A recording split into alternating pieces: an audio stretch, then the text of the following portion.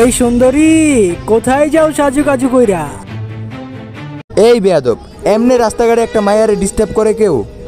এটা কোনো ডিস্টার্ব করার সিস্টেম হলো? রাস্তাঘাটে একটা মেয়ে দাঁড়ায় আছে তুমি আসলে আর তারা ডিস্টার্ব করলে এটা কিছু হইল? ভাই মাফ করে দেন ভাই প্লিজ ভাই। এচ্ছা মিয়া এচ্ছা মগ চলো